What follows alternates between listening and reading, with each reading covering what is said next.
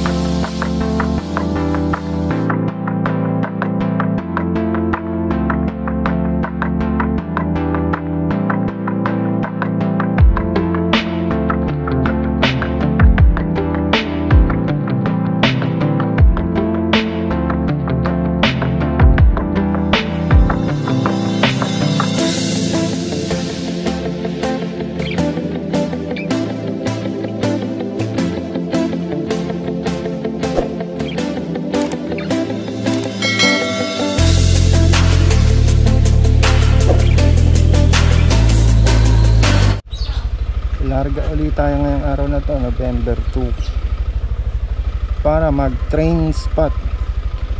Unang biyahe ngayon ni ano eh. Tutuban Binyang. Puntahan natin si DMU 5 biyahe niya. Matagal siyang nating gamuli para sa MSC Metro South commuter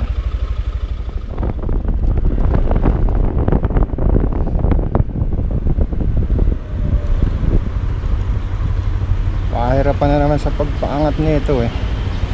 Yun, nadalik. At wala na tayong load.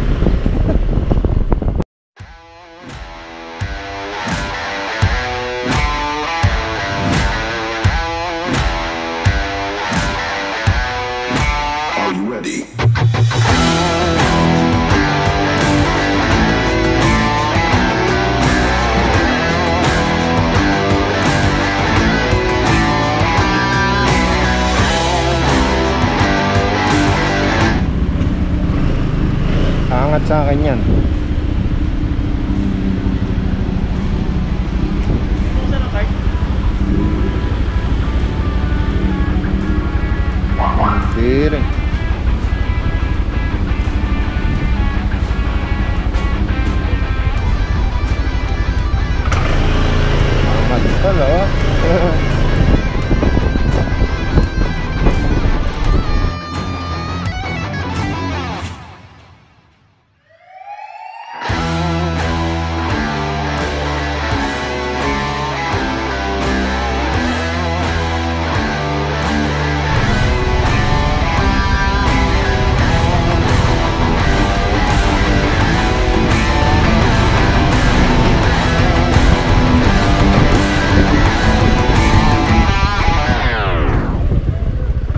Parating na.